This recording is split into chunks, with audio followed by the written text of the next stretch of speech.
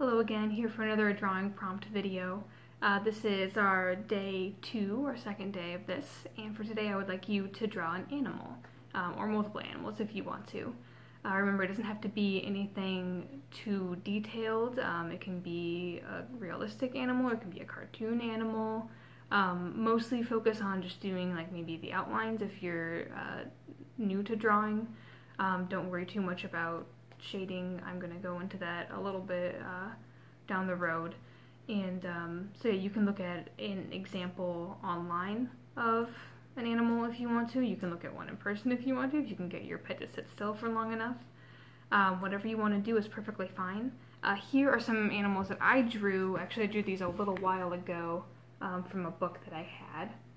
And so um, mine, I used some some shading techniques, but like I said, don't worry about doing that. Mostly just worry about uh, doing the outlines of the animals, and I think that you'll do well. I'd love to see your pictures when you get done with them. Uh, feel free to post those either in the um, Facebook comments or on the YouTube channel. Uh, whatever you would like to do would be perfectly fine. Have fun.